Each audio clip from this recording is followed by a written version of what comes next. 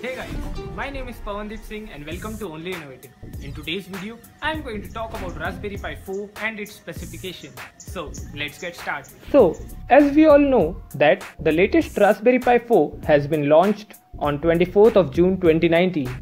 And first of all, I am gonna buy it from dnatechindia.com. As you can see, the cost is nearly about 5230 rupees. So, let me just check out and we will discuss the key features of Raspberry Pi 4.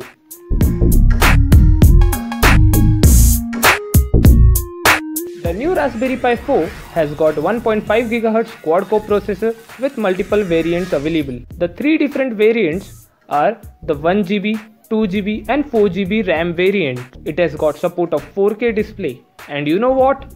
It can run two 4K displays at 30 FPS and a single 4K display at 60 FPS. Now you can add 4K displays to your games, to your computer, to your Raspberry Pi projects. You can connect these monitors to the micro HDMI connectors on the Pi 4. For wireless communication, you get Bluetooth 5.0 and dual band Wi-Fi that is Wi-Fi 5. In this new Raspberry Pi, you get two 2.0 USB ports and two 3.0 USB ports.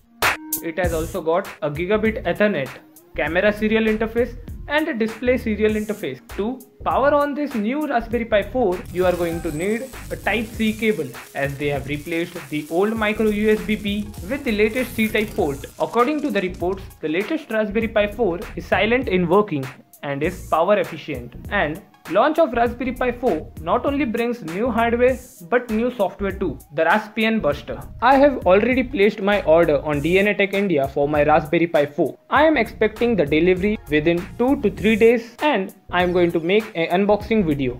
So subscribe to the channel to see the unboxing and my latest review about it. Thanks for watching the video guys. I hope you liked this video.